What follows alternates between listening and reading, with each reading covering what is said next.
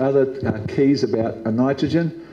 Soil balance. If you can improve your cal-mag ratio, uh, Gary Zimmerman, my great friend from the US, uh, he coined this statement, and boy, is it a true one. He also coined calcium truckable minerals bore on the steering wheel, so he's coined some neat, neat little statements. I like those little powerhouse statements. But uh, Gary always says, you got to earn the right to reduce nitrogen. Uh, and he's, he's so right. And what does he mean by you got to earn the right to reduce nitrogen? You could listen to this course and say, yeah, I'm using way too much nitrogen. I'll burn out all that carbon with it. Uh, I've got this high magnesium soil. Uh, I'm going to drop half of my nitrogen and it's going to do the planet good. Well, you made a mistake in terms of your profitability because the simple reality is that a high magnesium soil requires 50% more nitrogen to do the same job. So uh, why? Well, magnesium is a, a, a, nitrate antagonist, so there's one reason it shuts down the performance of nitrogen. Number two, uh, you don't have much recycling happening in the soil that doesn't breathe. You don't have much, uh, sorry, fixation happening. You want to get a bunch of nitrogen for free, uh, and the organisms who fix nitrogen are the most aerobic. Azotobacter is a free-living nitrogen fixer. It's the most aerobic organism on the planet. Needs more oxygen than anyone else.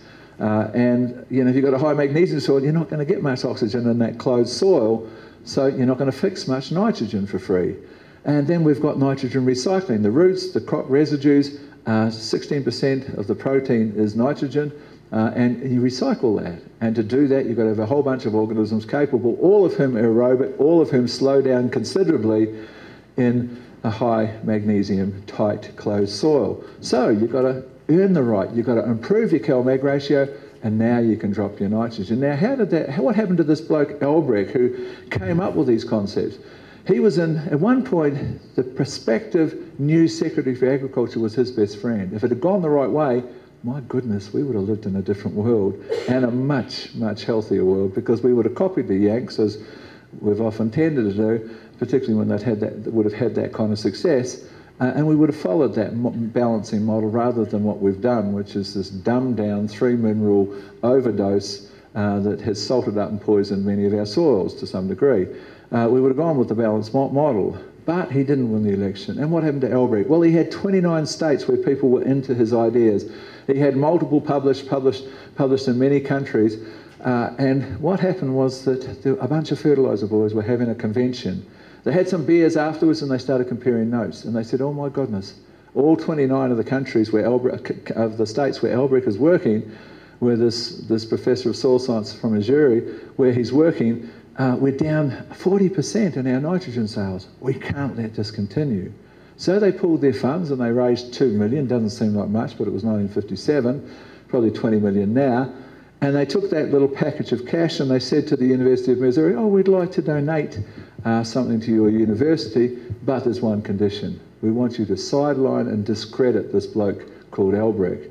And the university said, Albrecht, $2 million. Albrecht, $2 million, and they chose the 2 million, which is 20 million today. And they discredited him. He spent his days in a little room out the back. If it hadn't been for Charles Walters, one of the big players and one of my heroes in this whole movement, if it hadn't been for him recognizing the injustice of this whole thing and actually uh, uh interviewing thousands of hours on the old cassettes, which he then translated through to, to CDs, uh, of interviews with Albrecht, publishing his papers in three volumes called Albrecht, Albrecht Papers 1, 2, and 3, uh, and resurrecting those ideas, and then uh, co-writing Neil Kinsey's Hands-on Agronomy, very famous book in this field, about an agronomist out there in the world on a huge scale adopting Albrecht principles and the benefits and the potentials and how it worked. Neil's can't write, but uh, Charles is a great writer, and so Neil just talked and Charles wrote, and it became a best-selling book. Uh, but that's that's the deal. Um, you know, that's earning the right to produce. The guys that had done that had reduced 40% of their nitrogen, and the chemical companies shut it down. So if we'd gone that path, that's the whole story. Balance your soil, and you can reduce nitrogen. Is the point of this point.